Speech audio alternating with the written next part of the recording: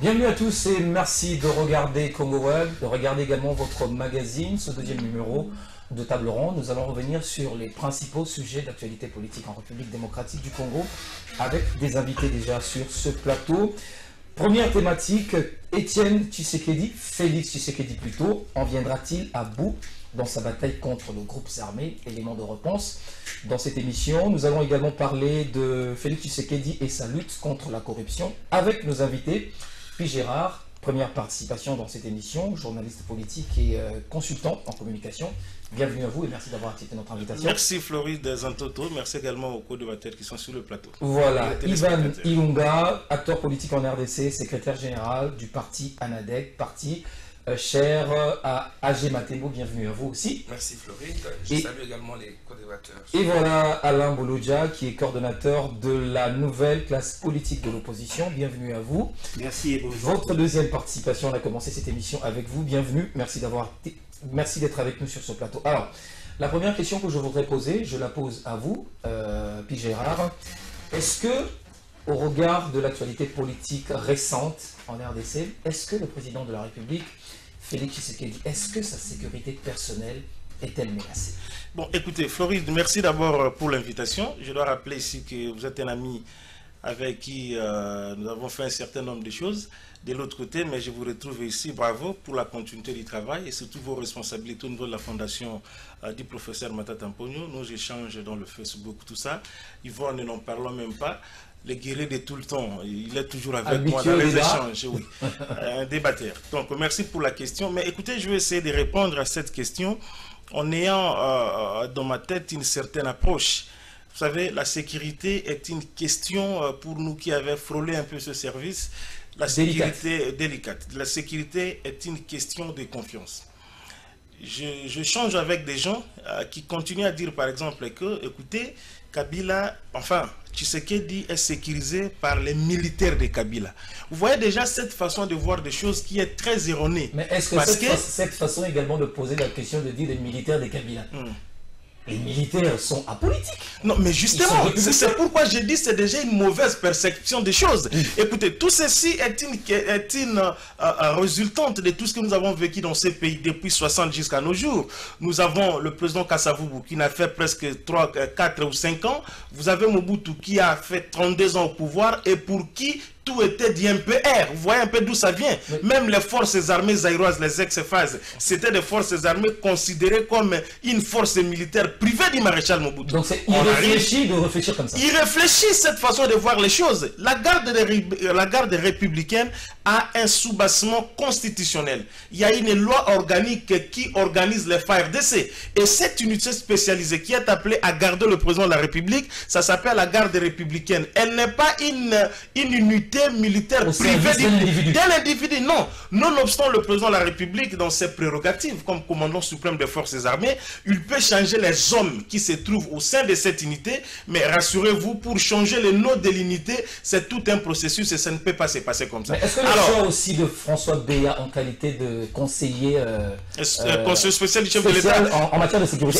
ça, a été réfléchi. Au, niveau de, l'architecture organisationnelle à la présidence de la République, vous savez, il y a un homme qui est presque un carrefour de tout un homme euh, euh, de qui tout passe. Et même, je vous dis que les, conseils spéciaux en matière de sécurité traitent directement avec le président de la République. Il n'a pas de compte à rendre administratif avec le directeur de cabinet, Vital Kamere, par exemple. C'est la personne que le président de la République voit la première quand il va à la cité de l'Union africaine et la dernière avec qui ils sont traités avant de mettre sa tête sur ses oreillers. Donc, vous voyez un peu la dimension de l'homme. Mais Félix n'avait pas à fabriquer des gens, mon Dieu. Félix n'avait pas à fabriquer des gens, il n'avait qu'à travailler à, un certain niveau. Au niveau des services spécialisés, surtout comme euh, le service des renseignements de sécurité, vous avez la NER, vous avez la DGM, vous avez euh, les services au niveau de l'armée proprement, euh, proprement dite, au niveau de la police, tout ça. Il est question ici de savoir faire les bons choix des hommes. Écoutez, rapidement, d'une manière aussi... Donc, vous, votre avis, il est compétent Oui, mais en soi comme, comme personnalité, il est compétent. Mais maintenant, le problème, c'est au niveau de l'homme lui-même. Qu'est-ce qu'il pense? Et les présidents, à, cet effet-là, ne doivent pas s'hasarder. Hein. Vous savez, euh, si tout doit être régenté, c'est autour de la sécurité du président de la République. Le président de la République est le symbole de l'unité nationale. Il incarne la volonté des Congolais. Donc, ça doit être la personne la plus sécurisée d'entre nous. Parce que s'il lui arrivait quelque chose de mal aujourd'hui, rassurez-vous que nous ne serions pas sur ce plateau en train de faire calmement cette émission. Mais il y a quand même des, petits, des petits là. Oui, il y aurait un petit que pour chuter, par exemple. Vous avez vu à, à Bukavu, là, ils descendaient du bateau quand, quand ils sont venus. Mais il y a quelqu'un dans le précaré immédiat du président de la République, parce que quand le président se déplace, il est le seul qui est entouré par tous les services de sécurité et de renseignement. Il y a des, il y a des, des éléments apparents et non apparents. Ah, c'est pourquoi si vous êtes dans ce périmètre-là, pour le bas n'importe quoi, c'est parce que vous ne savez pas qui est à côté de vous. Mais quelqu'un facilement avec son téléphone est en train de téléphoner ou de faire quoi que ce soit. Ceci ne demande pas que vous soyez un spécialiste en matière de sécurité. C'est quand même grave ça. Et le général qui présidait le président avait son téléphone. Il appelait qui, il faisait le message à qui, il disait quoi? Donc ce sont des petites failles comme ça. C'est louche que le, que le président Tshisekedi doit en tenir compte et qu'on doit sérieusement travailler là-dessus avec ses crashs et tout ce qui est arrivé.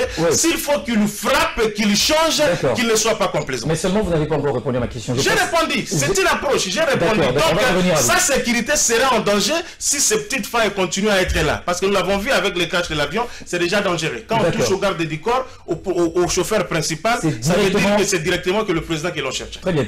Alors, euh, monsieur Ivan Ilunga, vous aussi, est-ce que vous avez la même approche? La sécurité du président Félix est-elle menacée?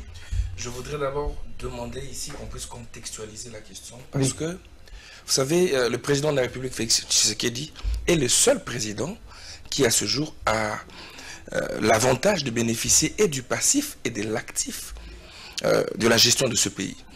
En parlant du passif, vous savez bien, depuis 1997, avec l'arrivée de, de l'AFDEL et compagnie, euh, la zone est de la République démocratique du Congo était une euh, zone porose par excellence, euh, où il y avait théâtre d'affrontement de, plusieurs groupes armés. Et donc, avec ça, je pense que la sécurité du président de la République passe d'abord par la vision qu'il a autour de la sécurité. Il ne faudrait pas penser, parce qu'il y a une activité, parce qu'il a pardon, pardon, un événement ponctuel, crash d'avion, que la sécurité du président de la République est menacée. Non, nous avons des ennemis de la République qui nous guettent du jour au jour. Ennemis internes ou externes et autant interne et externe, parce que nous n'avons pas encore très bien euh, situé où ils se trouvent. Mais je pense qu'ils sont et à l'externe et en interne. Et donc le président de la République devra en principe euh, mettre en place son état-major en alerte, de telle manière que l'inquiétude commence d'abord par le peuple congolais. Si jamais le peuple congolais de l'Est n'est pas en sécurité, je vous dis que le président de la République ne sera jamais en insécurité. À tout moment, euh, les crashs d'avions pourraient arriver, on dira non, non, non, c'est elle, c'est X, Y. Mais nous devons sécuriser le peuple congolais de telle manière qu'il n'y ait pas de tueries à Beni, à Butembo, à Haru, au nord, sud, est de la République démocratique du Congo. Seulement si jamais nous arrivons à réussir cette question, nous pourrons dire demain que la sécurité du président de la République est garantie. Mais dès lors que l'Est du Congo demeure la zone par excellence, théâtre d'affrontement, de confrontation, des zones armées, de, des groupements militaires qu'on n'arrive pas à maîtriser, je peux affirmer du haut de cette tribune, en respectant le contexte, que le président de la République sera en insécurité permanente. Très bien. Alors, je passe la parole à Alain Bolodia. Quelle est votre, vous aussi votre approche par rapport à cette question? Est-il en insécurité ou pas? Il doit, il doit être en insécurité, d'autant plus que le pays tout entier est en insécurité. Donc vous partagez le même avis que euh, Non, euh, pas vraiment. Mais ce qui est vrai, c'est que tout, le monde est en insécurité. Et fort malheureusement, il est le plus sécurisé d'entre nous. Il a, euh, en lui seul, il a plus de 5000 militaires qui sont commis pour les sécuriser. Il a une sécurité proche, ce qu'on appelle ses gardes du corps, tout ce qu'il a comme équipement. Mais fort malheureusement, on se rend compte que euh, il n'est pas épargné des insécurités. Moi, je vois des gens euh, qui habitent Mongafou, là, qui sont insécurisés chaque jour. Je vois les Congolais qui euh, sont insécurisés chaque jour. Et aujourd'hui, on parle de l'insécurité. c'est un problème qu'il a hérité, lui. effectivement. voilà, voilà, pourquoi il a été, entre guillemets, choisi pour résoudre ces problèmes. C'est vrai qu'on va nous demander de lui accorder du temps, mais c'est que l'insécurité touche tout le monde, même le président de la République. C'est ce qui justifie la prison des guerres mais j'ai quand même, euh, je suis un peu confus de constater qu'on fait les rapprochements entre le crash de l'avion et sa sécurité. c'est quand même en tout cas, je suis un peu perdu. Mais je vous dis, jusqu'à preuve, jusqu'à preuve du contraire, il n'y a pas un élément qui atteste que ça a été euh, conçu quelque part. Ça peut être qu'un accident. Nous connaissons des accidents chaque jour et ces gens-là ne sont pas exemptés de cette réalité. On peut connaître des crashs, on en a connu autant. Mais qui dit que s'il y a crash d'avion, c'est-à-dire on a attenté à la vie du président de la République? Ce sont là les vraies réalités. Oui. C'est que nous, nous voulons. Nous voulons que tout le monde sache qu'aujourd'hui, l'insécurité peut toucher tout le monde. En commençant d'abord par le président de la République. Voilà pourquoi j'ai vu aujourd'hui sa sécurité. pas, elle n'est pas si faible que ça. Le mécanisme qu'on a mis pour sécuriser le président de la République. J'ai vu plus de 14 jeeps avec des gens armés pour sécuriser un seul individu. C'est vrai que c'est l'institution, mais pour sécuriser un seul individu. Nous avons 26 provinces. Nous avons 145 territoires. Nous avons 9000 km de frontières avec neuf pays voisins. Si on doit prendre tous les dispositifs pour sécuriser un individu, eh bien, que ce soit lui, que ce soit nous autres, nous serons en sécurité. La meilleure manière de sécuriser tout le monde, que ce soit les présidents, que la population, il faut avoir une armée forte, il faut avoir une police agissante. Il doit travailler sur ces, ces, instruments. S'il n'arrive pas à nous doter une armée forte, à nous doter une police forte, eh bien, il a, fait, il, a fait ce constat, il a fait ce constat en disant qu'il a trouvé une armée structurée. Non, mais s'il est dit, s'il est dit, c'est qui, qui, qui est. Bon, il est dit en tant que politicien. Mais nous savons que cette armée n'a pas encore atteint les objectifs voulus ou la stature voulue par la Constitution. Nous voulons que nous ayons une armée qui sécurise tout le monde. Parce que lui fait partie de la population.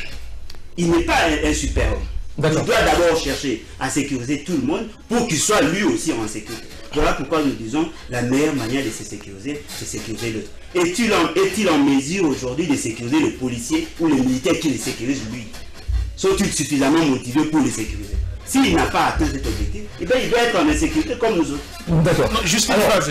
oui. avant que vous ne, vous ne, me posiez la question, je voulais un peu tranquilliser euh, euh, mon ami Alain Bolodjoa pour lui dire ceci. Ce que je dis, je. mais là, il n'est pas contre. Non, il n'est pas contre, mais modestement, ça fait partie des, ça fait partie euh, d'une des matières pour lesquelles moi je, je, je passé un peu de temps euh, devant le tableau. Donc je suis en train de lui dire que le concept de sécurité est un concept total et global.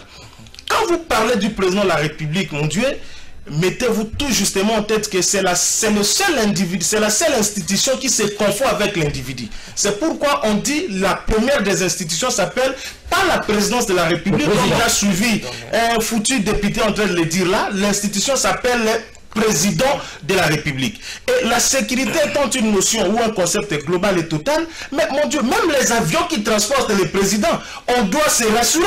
L'AAC, l'aviation, l'autorité de l'aviation civile, doit nous certifier que les avions qui sont commis au service du président, c'est ça le rapprochement justement, qui sont à la suite du président, qui transportent les véhicules dans lesquels le président va monter pour aller dans sa maison, où est-ce qu'il va arriver. On doit nous certifier que cet avion est en bon état. lorsque l'on sait que certains, même les responsables de l'AAC, hmm. reçoivent des injonctions, c'est compliqué. Justement, vous comprenez pourquoi je parle du concept de sécurité qui est total et global. Donc ici, il ne faut pas voir seulement la logique, comme il était en train de le dire, avec beaucoup de gens qui pensent ainsi, que non, l'avion serait abattu, il y a eu attentat, un terroriste était dedans, il y a eu explosion euh, d'une grenade. Non, non, non, pas ça. Parce que ce qui est arrivé, c'est qui Le chauffeur principal du chef de l'État, sa jeep qui les transporte, c'est garde du corps. On ne nous dit pas encore exactement le nombre de personnes, c'est ça aussi le mystère. Mais si ça pouvait toucher l'avion où le président lui-même se trouvait. Alors on va le, problème c'est qu'effectivement c'est ça l'insécurité. Il faut voir les choses dans ce sens-là.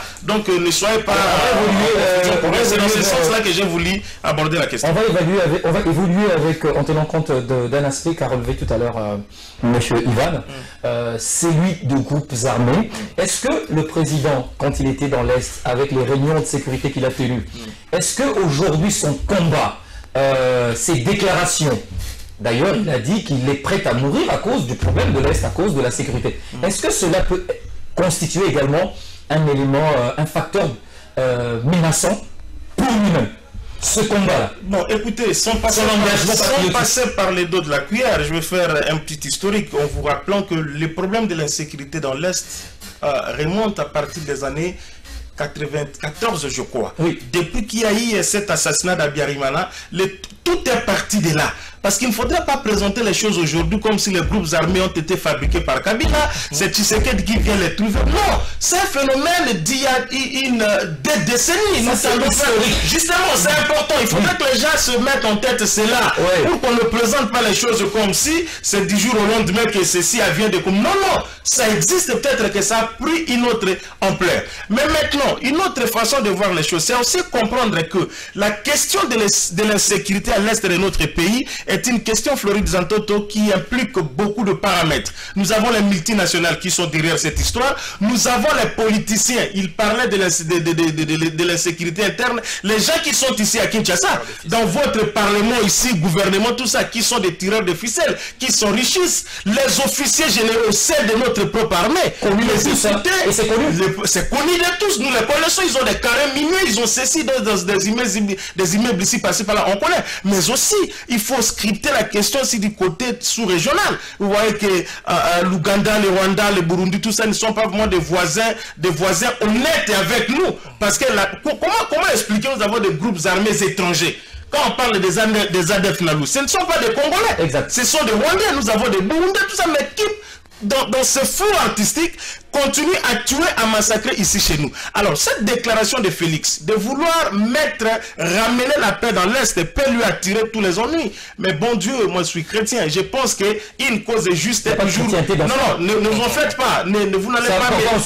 C'est important parce que vous n'avez pas me priver de mes croyances. Là, c'est philosophique. Moi, je suis lecteur de la Bible et je vous dis que une cause est juste et toujours défendue par Dieu. Que vous le voulez ou pas, il y a un être suprême qui nous a créé. Bolodjoa, c'est un de, de, de toutes les semaines je connais. Il le publie quand, il dit quand il va à l'église prier ou dire quoi, je ne sais pas. Donc pour dire que le président peut s'attirer des ennuis, ce n'est pas Ivan qui va me contredire, mais autant si cette volonté est là, avec l'implication des Congolais, je dis bien des Congolais, on peut arriver à éradiquer cette situation de l'insécurité dans l'Est du pays. Mais de quelle manière? Le problème, c'est que ce qu'on raconte ici, c'est pratiquement euh, des paroles, mais de quelle manière concrètement le président peut arriver finalement à mettre fin avec le groupe armés, qui est devenu un véritable business également pour les politiques.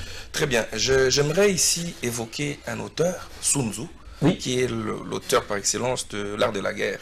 Il dit, lorsque vous décidez d'aller en guerre contre un adversaire, il faudrait d'abord évaluer vos potentialités, mais aussi mener des études minutieuses pour savoir quelle est la force de riposte de l'adversaire. Nous ne sommes pas en campagne. Le président de la République, lorsqu'il débarque à l'Est de la République, je pense que les conseils en communication devraient en fait évaluer la teneur de ses propos face aux adversaires. Euh, euh, mon co-débatteur a dit ici que la République démocratique du Congo fait face aux adversaires tant nationaux qu'internationaux. Voilà, évaluer un peu la force de nuisance de nos adversaires internationaux, notamment nos partenaires euh, avec qui nous faisons frontière. Ils sont là en train de vouloir piller matin, midi, soir. Et la zone, le Jérusalem minier dans le monde, aujourd'hui c'est l'Est de la République démocratique du Congo. Et donc ils ne peuvent pas laisser euh, ces genres de messages passer, sinon ça va les affaiblir. Voilà pourquoi ils ont donné un message fort. Je pense, si je, veux, je peux donner un message fort. Je peux faire une lecture politique. Allez-y. Si jamais, si jamais à l'issue euh, euh, des, enquêtes qui sont menées, on, on, arrivait à affirmer que l'avion du président de la République a été attaqué, je peux dire que qui les a attaqués? Ce sont ces gens-là. Ce sont ces ennemis de la République qui sont là pour menacer, pour torpiller, pour voler les mines, mais aussi déplacer les populations congolaises, afin qu'ils puissent accaparer des terres et des sous-sols. Maintenant, si jamais ça n'a pas été euh, confirmé, et qu'ici on, on, arrivait à conclure que c'était un, crash, je pense que ce serait une situation normale, mais seulement il faudrait que nous ne puissions pas euh, euh, aborder les choses sans pour autant avoir à la tête qu'il y y a des adversaires. Ils sont là, ils sont en train d'étudier. Ils veulent en fait que demain que l'Est de la République démocratique du Congo réclame une certaine autonomie. Ça, on doit le dire. Il y a eu des forums et des forums dans ce pays où on vous dit qu'il y a des, conférences sur la paix. Effectivement, on vous dit qu'il y a des ennemis, il y a des, il y a des, il y a des grandes puissances qui sont en train de travailler pour que l'Est de la République devienne un État autonome. Et nous devons également réfléchir. Et lorsque le président de la République arrive euh, à, c'est quoi là? Il doit, ici je veux faire euh, référence à, au héros vivant Joseph Kabila, qui disait qu'il se permettrait de dire un mot lorsque sa parole avait force euh, que l'acte qu'il devait poser. Et donc, avant poser des, des avant de parler, il faudrait mesurer la teneur de l'action et de la réaction qui peut être résultant de, votre, de vos propos. Je vais poser une autre question parce que euh, Pierre Gérard l'a relevé. Il a parlé des voisins qui sont des, des partenaires qui ne sont pas honnêtes. Effectivement. Est-ce que le rapprochement Félix et euh, Kagame, comment le voyez-vous? Sous quel œil? Sous quel regard? Écoutez, le, rapprochement Félix-Kagame, c'est un rapprochement normal. Si jamais Ivan Ilunga devenait président de la République, je me rapprocherais de Kagame, je me rapprocherais de Sassou Nguesso, parce qu'en réalité, ce sont des partenaires. Pour la sécurité, vous savez, nous avons des frontières... Dire qu'il est la source de nos malheurs. Dire qu'il est la source de nos malheurs, oui. C'est un constat. Mais pour, euh, en réalité, il y a un adage qui dit, pour euh, détruire un système, il faut l'entrer dedans pour le détruire. Et maintenant, lorsque vous décidez d'entrer dedans, il faudrait penser que le système ne va pas vous engloutir. Je crains plutôt que le président de la République se fasse engloutir dans sa vision. Parce qu'avoir une vision, c'est une chose, mais la réaliser est une autre.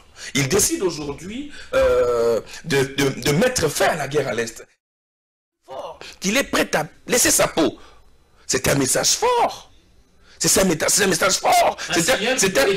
C'est un, signal qui peut à la fois énerver, susciter de l'espoir. Mais je dis, nous ne sommes pas en campagne. Le peuple n'a pas envie d'attendre les discours. Mais le peuple veut voir comme il a fait. Je salue. Aujourd'hui, il y a eu dédoublement de, de l'effectif des militaires. C'est bon. Mais il faudrait aller dans la profondeur et arrêter de faire des discours. Effectivement, on n'est pas faire des discours euh, propagandistes. Sinon, ça crée des... Parce que je vous dis, euh, juste après son passage, on a appris qu'on a encore tué toi, moi, toi.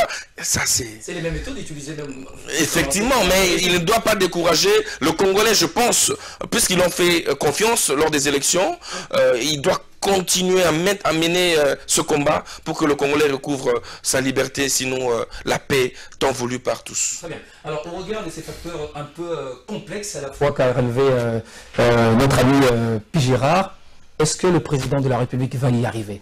C'est quand même assez complexe, difficile, mais réalisable. mais c'est réalisable, comme vous l'avez dit. Notre problème, c'est que nous, sommes, nous, naviguons à vue. C'est-à-dire, nous avons un président de la République qui n'a pas encore intériorisé les exigences euh, de la gouvernance comme telle. Mais tenir un conseil de sécurité, ça c'est de la gouvernance, non? Non, mais effectivement. Mais le problème, c'est que, comme l'a dit euh, mon frère euh, du FCC, le problème avec M. Félix, c'est qu'il est fort en discours.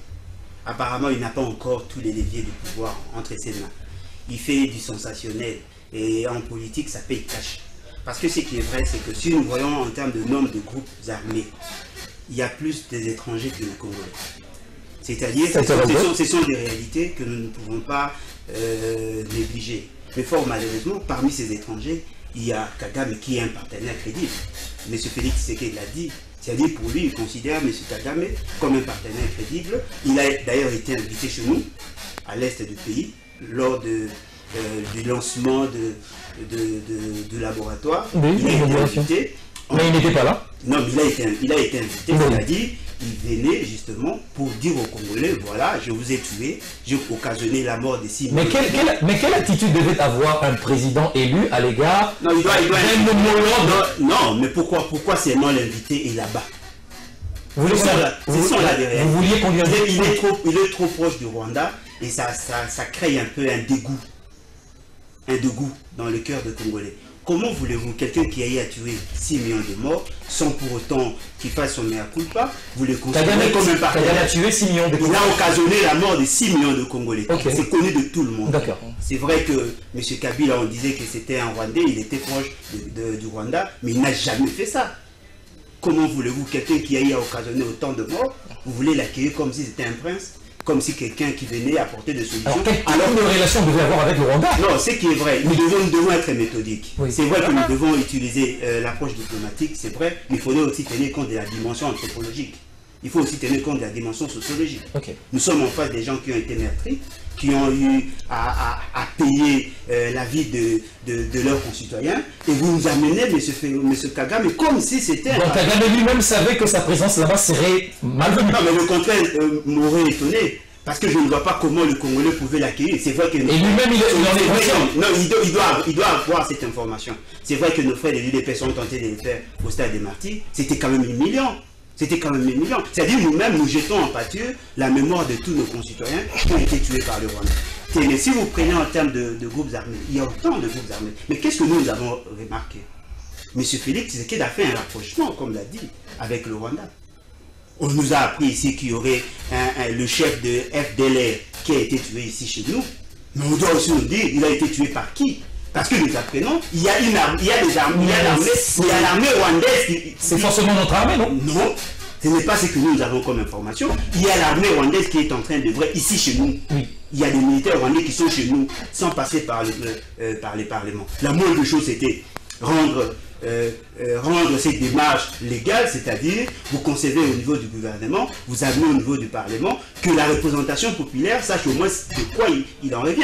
Mais lorsque, lorsque vous faites entrer le, Rwandais chez nous, vous savez ce qui s'est fait généralement? Allez-y. On envoie nos concitoyens combattre les ennemis de la République et en face d'eux, ils trouvent des Rwandais. Mais en même temps, on voit la première dame aller au Rwanda, être accueillie comme une princesse là-bas. C'est que sous-entend qu'il y a un problème conceptuel.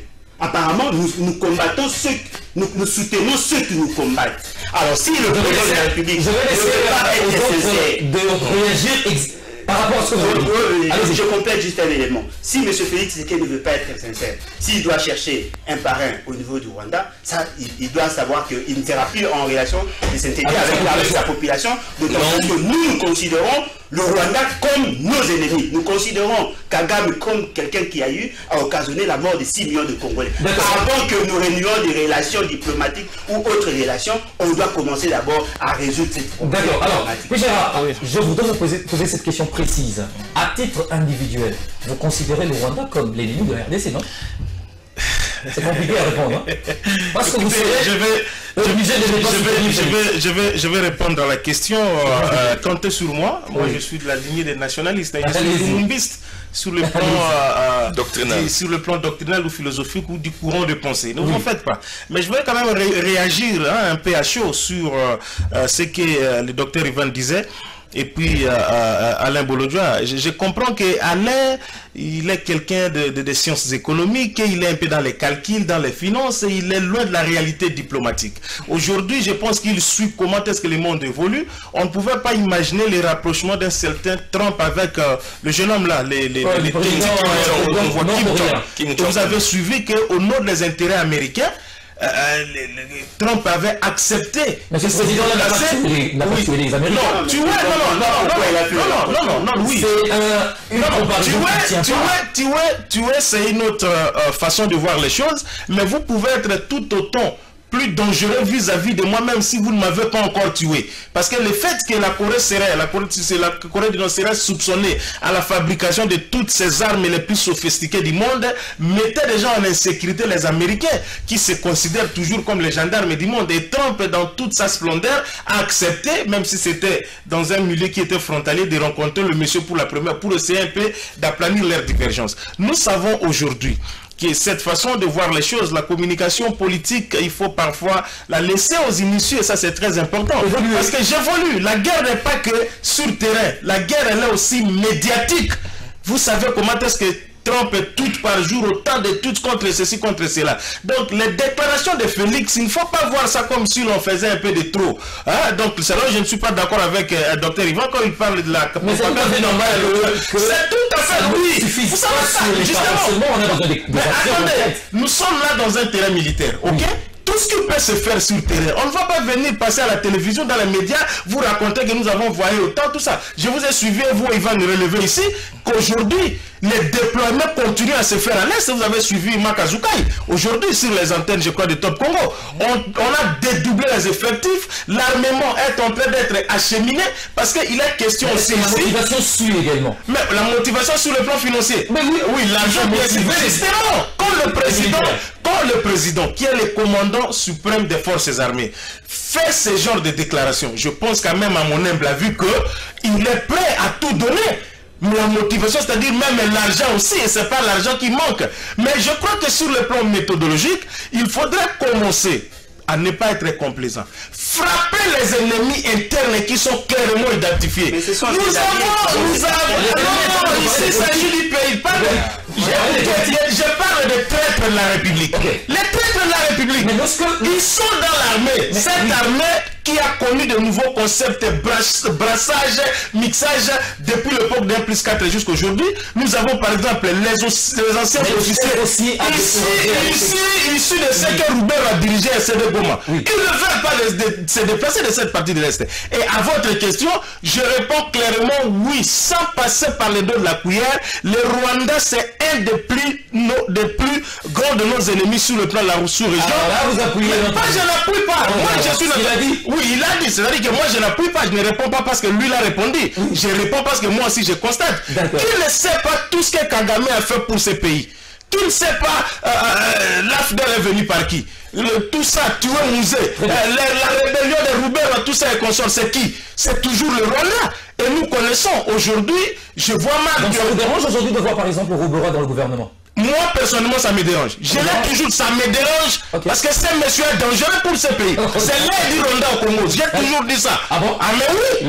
L'air du Rwanda au Congo, c'est ce monsieur-là. D'accord. Je suis sérieux dans ce que j'ai dit. D'accord. Alors, réagissez par rapport à ce qu'il a dit. J'aimerais. Quelle est la perception aujourd'hui que la population a sur Félix Tshisekedi lorsqu'on le voit se rapprocher d'un président aujourd'hui dont le pays est considéré comme un ennemi? Et la première dame également qui est applaudie, qui est très bien accueillie là-bas. J'aimerais m'inscrire d'abord en faux contre les allégations et propos tenus par... Euh, Alors là, vous n'êtes plus d'accord. Hein. Je ne suis pas d'accord en disant ici que le Rwanda, c'est celui qui a détruit, qui a tué, qui a fait ceci. J'aimerais que le, les, les, téléspectateurs qui nous suivent me comprennent très bien. Vous savez, sur le plan ethnique et sociologique, le peuple de l'Est est plus attaché, c'est-à-dire partage la même culture que la, population de, du Rwanda. Il ne faudrait pas penser que... Parce que nous sont frontaliers. Voilà, il faudrait pas... Effectivement, du fait qu'ils sont frontaliers, ils ont eu à côtoyer le même principe euh, qui sont devenus presque de loi de coutume. Nous, au Kasaï, on nous marie de la même manière presque avec nos frères et sœurs du Sankourou, vous voyez. Il ne faudrait pas penser que puisque nous sommes de l'Ouest ou encore du Centre, très éloignés de la population de l'Est, et que tout ce qui se fait là-bas, puisqu'ils ont le Rwanda, non, non, non. Vous savez, en politique, la force, c'est en imposant en fait les propres mains que vous avez. Vous. Si aujourd'hui Kagame, on dit qu'il a tué, c'était pourquoi C'était pour imposer sa force. Aujourd'hui, vous voyez ce qui se passe au, Rwanda. Aujourd'hui, il, y a, il les smartphones. Le Rwanda, aujourd'hui, devient le pays, parmi les pays africains, qui évolue en matière de technologie. Mais c'est parce que nous étions faibles hier. Qui nous a déstabilisés? Le Rwanda n'est qu'un bouc émissaire. Le Rwanda n'est que... Je, vous l'ai dit. Effectivement. Parce que de qui bouc, émissaire, bouc émissaire de la France, de la Belgique, des États-Unis et compagnie. Nos vrais ennemis, ce n'est pas le Rwandais. Est-ce que Kagame fait le poids? Le Rwanda fait le poids de la République démocratique du Congo Non, si jamais tous les Congolais, je dis si jamais tous les Congolais décidons de fermer nos maisons, on marche à pied jusqu'au Rwanda, nous allons déstabiliser le Rwanda. Mais c'est parce qu'ils ont une force euh, euh, multidimensionnelle qui est cachée derrière le Rwanda, la Belgique, les États-Unis et compagnie. Nous n'arrivons pas à, parler aux Américains. non? Nous n'arrivons pas à parler aux Américains. Voilà pourquoi moi je salue d'abord la démarche du président de la République. Lorsqu'il s'est décidé, parce qu'aujourd'hui le monde, c'est un village planétaire. Vous ne pouvez pas dire, écoutez, je viens au pouvoir, je ne fais, je fais du Rwanda l'ennemi principal. en tout cas, moi, les Rwanda, les relations bilatérales avec le Rwanda, je coupe vous allez vous enfermer, il va vous tourner et vous affaiblir. le président de la République ne devrait que passer par ce système-là. Faire du, du, Rwandais ennemi ami pour que nous puissions comprendre son système et les détruire au besoin. Mais j'aimerais ici dire que l'ennemi du Congolais... Vous pensez maintenant du président ou le président s'inscrit dans la même logique que vous? Le président, je pense qu'il s'inscrit dans, dans, cette logique. Hein, moi, je pense qu'il s'inscrit dans cette logique parce que je suis aujourd'hui conscient et convaincu que la, euh, dans la partie Est de la République, il n'y a pas l'inquiétude. Mais les Rwandais vous diront non, nous attaquons nos, adversaires au Rwanda. Quand vous dites FDLR, ce n'est pas une force rwandaise. Ce sont les forces anti-Kagame qui ont élu domicile. C'est forces congolaises. Oui, ce ne sont pas les forces congolaises. Oui. Aujourd'hui, les ADF et compagnie, ils veulent déstabiliser euh, tantôt Ouganda et compagnie, alors ils trouvent refuge à la partie Est. Vous savez que l'étendue, l'immensité du, du, pays continent comme la République démocratique du Congo, certaines forêts de l'Est là-bas ne sont pas habitées. C'est tout à fait normal que ces gens-là viennent. Mais c'est à nous aujourd'hui de se rendre compte que la République démocratique du Congo, dans ses frontières, laissées par euh, euh, les colonisateurs, nous devons tenir compte de de cela pour assurer notre effectivité. Mais l'ennemi véritable doit être abordé. Nos amis d'en face, mon ami Bolodjoa, n'arrivent pas à dire la vérité aux Congolais, que notre ennemi, c'est les États-Unis. Nous devons dire non. Je suis tombé sur ce qu'on appelle la charte des impérialistes, qui a environ 54 articles. Parmi les articles, ils vous disent clairement que dans un pays où nous n'avons pas notre, nous, pas nos intérêts, c'est là qu'on installe la, sécurité, on envoie des, des, forces appelées MONUSCO. Moi, je suis ceux qui, parmi ceux qui pensent que la MONUSCO doit partir. Parce que la MONUSCO est une sous-traitance également des Américains qui évoluent en connivence avec eux pour entretenir le Rwanda. Aujourd'hui, vous décidez d'attaquer le Rwanda. La MONUSCO va intervenir, les euh, Nations Unies va intervenir, Belgique, France, tu, tu me le conseilles juste une phrase. Je, je, voulais rapidement, euh, euh, tout, en, tout en étant partiellement d'accord avec ce que Ivan a dit, pour dire que la partie orientale de notre pays, il n'y a pas que des tribus frontalières là-bas. Nous sommes un pays qui a neuf voisins. Et si vous descendez dans la partie ouest, par exemple, vous êtes au Congo central, nous avons, les, vous trouverez les Bakongo d'ici, les Bakongo d'enfant. Donc, toutes nos provinces ici, nous n'avons que des, tribus comme ça. Mais le problème, c'est, je l'avais souligné à l'entente de l'émission, c'est cette malhonnêteté, cette hypocrisie du Rwanda, bien sûr, qui est un élève de toutes ces forces occidentales qui venaient d'énumérer. Mais qu'est-ce qu'on fait? Lorsque vous avez quelqu'un pour qui l'ombre est derrière, vous ne le voyez pas. Et après, vous allez attaquer celui-là qui ne sait pas. Alors, dire que derrière le Rwanda, il n'y a pas une main noire, une force, alors ça, c'est aussi voir très mal les choses. Non, le problème, c'est qu'il y a plusieurs centres d'intérêt. C'est vrai que les Occidentaux... Alors là, vous êtes d'accord avec lui C'est ce qu'il a dit Partiellement. Autrement Partiellement. Allez-y. C'est vrai qu'il y a d'autres enjeux que nous autres, ne maîtrisons pas c'est vrai. Mais ce qui est vrai, commençons d'abord par le Rwanda. Oui. Parce que c'est vrai qu'il y a l'ombre des États-Unis. C'est vrai qu'il y a les États-Unis derrière, mais qui ont occasionné la mort de plus de 6 millions de Congolais. Tout le monde pleure ici. Ce ne sont pas les Américains. Ce ne sont pas les Américains. Ils n'ont pas pris des armes pour nous attaquer. Ce sont nos frères du Rwanda. Et ce n'était pas pendant que Abiyarimana était président. C'était pendant que M. Kagame avait l'influence sur le Congo. Même si on pouvait avoir des relations diplomatiques, même si on pouvait avoir une coopération économique, pourquoi l'accueillir ici chez nous, dans notre stade? Et vous appelez ça le stade des martyrs là où on a, on a consacré, on a symbolisé tous ceux qui sont morts pour la République, et vous l'accueillez comme si c'était un partenaire crédible. Et M. Félix, effectivement, ça c'est une insulte. Vous avez insulté tous ceux qui sont morts pour le Congo. Mamadou Ndala est mort pour ça. Baouma est mort pour ça. Pas du tout. Tous ces gens-là. insulté, non, n'ai pas voulu m'inscrire dans une sensationnel. Pas vous. Même pas le président de. L'arrivée. Pas vous individuellement, je parle de votre régime. Ma logique, on s'inscrit pas dans ce sens-là. Non, non. Non, mais lui, Félix, Kabila Félix, lui, il n'est pas. C'est ce régime-là, Kabila Félix. Attendez, sens-là. Non, non, ne vous imposez pas ici, s'il vous plaît. Ne vous imposez pas ici. Si vous n'êtes pas du pouvoir, vous êtes l'invité. Moi, je crois que euh, ce qui est vrai, nous, nous avons besoin effectivement que nous résolvions cette situation-là. Nous voulons effectivement que nous corrigions euh, ces erreurs qui ont eu à mettre en mal euh, notre, notre société, notre, notre pays, notre nation. Nous sommes d'accord. Nous pouvons accepter le pardon du Rwanda. Mais on ne peut pas accueillir M. Kagame ici chez nous en triomphe. C'est-à-dire quand vous l'avez accueilli en triomphe, vous me jetez en pâture toute la mémoire. Non mais, oui, chef de l'État, c'est bon. Mais attendez, attendez. Le rapport interétatique. Non mais attendez. Si c'est ça, si c'est ça votre, si c'est ça votre logique, dites alors à tous ceux qui ont pleuré, plus de 6 millions de Congolais, eh bien on laisse passer, on laisse tomber. Il n'y a pas de politique. Nous sommes dans la dimension sociologique. Ça se venge. Non, attendez. Vous les vengez comment? Vous les vengez comment? Vous les vengez comment de que nous savons? Nous savons aujourd'hui que M. Félix Tshisekedi a fait entrer le Rwandais, les Ougandais. Mais, mais nous sommes dans un pays continent. Il a, il a, il a fait des Congolais sont Non, dites-moi.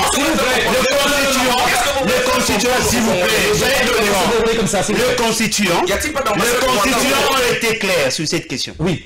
S'il faut faire entrer une armée étrangère, la moindre des choses, il faut consulter la représentation du peuple, qui est le Parlement. L'article 86 est clair de la Constitution. Vous ne l'avez pas fait. D'accord. Et vous faites entrer le Rwandais ici chez nous. Ils vont opérer pour tuer qui? Le Zutu Rwandais. Vous en avez les preuves? Mais les informations sont... Ce sont les informations officielles. Ce sont les informations officielles. Apparemment, vous n'avez pas suivi l'information. On vous apprend. On vous apprend. Ce sont les informations officielles, sachez que les canaux officiels étaient informés. Non, mais les canaux officiels, vous parlez de la présidence de la République. L'institution de président de la République est informée. Je l'engage l'État. C'est-à-dire que vous tous complices de la mort de 6 millions de Congolais, tout simplement parce que vous faire les n'a je n'accepterai jamais ça. Floride, je voulais, je voulais un peu tranquilliser. Non, pardon, je voulais tranquilliser les amis. Justement, en rapport avec cette question, et, je suis peut-être, je ne comprends pas. Non, ne, nous amenez pas dans cette logique-là. Vous êtes d'accord avec lui, vous avez paraphrasé, non. Laissez-nous chacun réfléchir sur le librement. Alors, je, ne comprends pas pourquoi Ivan tombe dans ces pièges de Alain Bolodjoa. Il est dans une rhétorique politique mensongère. Ce qu'il est en train d'alléguer ici, c'est extrêmement grave. Qu'est-ce qu'il faut? Où se trouvent les militaires rwandais dans notre pays? Ils sont là. Ils sont où? Ils sont là. Ils, sont où, monsieur? Monsieur Arrête d'être un démagogue. Vous n'avez pas Arrête d'être un démagogue. Ça coûte quoi à Félix, président démocratiquement élu, s'il veut faire un, appel aux forces rwandaises, nous l'avons vu, Kabila l'avait fait ici, c'est passé par le Parlement, c'est entériné par le Parlement. Oui, alors que Kabila avait écouté. Si Kabila attendez, attendez, je vais vous aider. Tu sais pourquoi Kabila avait démissionné? Le problème est ailleurs, ce n'était pas par rapport à ça, parce qu'après immédiatement Kabila, nous avons vu la question être débattue au Parlement, n'est-ce pas ça? Vous avez vu non, non, non, non. Laissez-moi parler. Je suis en train de dire ici que Alain Bolodjoa est en train de mentir aux Congolais. Les militaires rwandais ne sont nulle part sur le territoire national congolais. Et je ne sais pas quel cas ils sont. Les leaders des Vous avez appris hmm. l'information selon laquelle hmm. Euh, des troupes rwandaises, ougandaises sont ici. Vous n'avez pas appris ça. Mais c'est officiel. Mais par quel canal oh. Vous n'avez pas appris ça. Je pose la question. Journaliste, écoutez, écoutez. Floride Zantoto. Vous, n'avez pas appris cette information. Floride Zantoto. Même si elle est jusque-là une rumeur. Excusez. Excusez, excusez, excusez, excusez, excusez, Floride Zantoto, oui. ceci ne peut pas venir de vous et moi. Non, Excusez, de spécialistes et de cycles que nous sommes. Je considérais docteur Ivan peut-être et Alain, oui. qui ne sont pas peut-être de notre domaine. Mais quand vous dites que vous n'avez pas pris d'abord un, quelle est la source? Et deuxième chose, par quel canal? Trois, vous dites que jusque-là, c'est encore des rumeurs. Donc une contradiction. Donc un journaliste, un spécialiste en communication politique comme moi ne pas tomber sur ces lumières-là. Nous savons comment RFI, TV5 et tous ces, médias occidentaux fonctionnent. Quand tu veux les machiner quelque chose là, ils vous mettent en moule des choses, ils vous disent, ils vous disent, ils vous disent, nous connaissons. Et pas chez un nationaliste comme moi qui tomberait dans ce piège-là. Les Rwandais ne sont pas à l'est du pays. Les Rwandais ne sont pas à l'est du pays. Pour preuve, jusqu'à cette minute où je vous parle, les militaires ici, de la 14e région militaire, les réserves de commando qui est ici limitées, que dirigeait euh, euh, euh Mamadou Ndala, tout ça, ils, on, est, on continue à les déployer à Beni, à l'est du pays, pour justement aller renforcer les effectifs sinon, qui sont là parce que l'alerte est rouge. On va passer à l'offensive nécessairement. Et dire que les Rwandais sont ici, c'est un, gros mensonge qu'elle a lequel il ne faut pas croire. c'est un menteur politique. Nous aspirons à ne pas être des politiciens. Les politiciens sont ceux qui ramassent des, des rumeurs à gauche, à droite et veulent en politique, c'est Nous sommes des hommes d'État. Un homme d'État, lorsqu'il passe devant des milliers et des milliers de Congolais qui nous suivent, doit avoir des, des éléments probants avec euh, certitude. Aujourd'hui, la République démocratique du Congo n'est pas fermée aux Rwandais. Les Rwandais sont libres de venir au Congo. Dès lors qu'ils vont dans leurs ambassades, dans nos ambassades, ils prennent les passeports, les visas, tout ça, ils peuvent venir. Autant nous allons là-bas. Pour prévenir. Oui, Rwanda est là. Mais dire que les, militaires armés sont, les militaires euh, rwandais sont, ici au Congo, ça c'est une affirmation gratuite que je ne permets pas à mon co-débatteur de. On va est grave en même temps. On va finir avec vous. Hein? Bon, je crois que je dois m'assumer par rapport à cette information. Peut-être vous n'avez pas l'information, je suis surpris. Parce qu'il y a, la, il y a non mais la source, moi je suis à la radio Capi. Lorsque la. Non, bien sûr, lorsque la société civile a fustigé la présence de Rwandais, vous, vous n'avez pas suivi. Mais Rwandais armé Vous avez suivi. Pas. Vous avez suivi pas. D'accord. Le Rwanda. En termes de militaires. Attendez, attendez. Alors, c'est une confusion. Attendez, mais moi je suis. S'il vous moi, Laissez-le parler. je ne suis pas journaliste, moi je suis politique. Oui. J'ai des informations et je m'assume. D'accord. Je le dis euh, ici en public, je m'assume. Si vous voulez avoir des preuves, traduisez-moi en justice. Je vais vous amener des preuves. Rapidement. C'est ce qui est vrai. Je suis quand même déçu Oui. de voir qu'aujourd'hui, vous, le Congolais, vous soutenez les étrangers. C'est quand même surprenant. Comment voulez-vous, vous, vous soutenez le Rwandais Non, ici non, chez non, nous? non, Des gens qui ont eu à tuer plus de 6 millions de morts. Si vous voulez qu'on vous foute, euh, rien à voir, rien à voir, rien à voir, rien à- voir, rien à voir. Je suis quand même que vous, vous soutenez ceux qui ont tué. On va clore cette émission, s'il vous plaît. S'il vous. Tu fais du populisme. S'il vous plaît. Je suis contre Merci à Kagame, vous. je suis sur ce plateau. Pourquoi vous êtes contre Pourquoi vous êtes Non, de Félix. Il est- de considéré le Rwanda comme Alors, merci. De. Il considéré un. On se retrouve jeudi prochain. À vous, Ivan. Merci à vous, Gérard. Et à Alain Molodia. À très bientôt. Merci.